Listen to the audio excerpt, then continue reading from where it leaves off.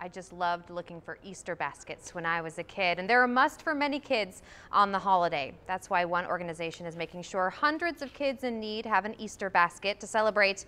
Our Marissa Cummings has more on their mission.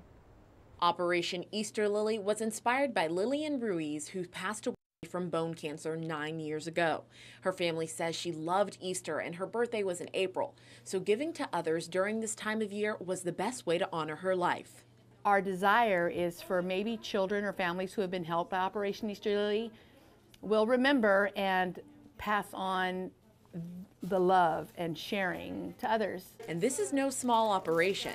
We've probably got over 600 Easter baskets this year alone. In one day, they've given hundreds of Easter baskets to places like Driscoll Children's Hospital, the Ronald McDonald House, and CASA. This is a beautiful amount of Easter baskets. It's very beautiful.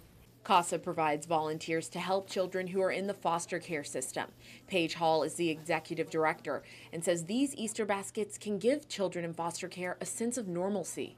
Everything we can do to do that is what we want to do, and it's amazing when there's folks like this who come from the community and make that happen for our kids. That is the best part of this job. Operation Easter Lilly will continue donating baskets. Their next stop is Laredo. Marissa Cummings, 3 News.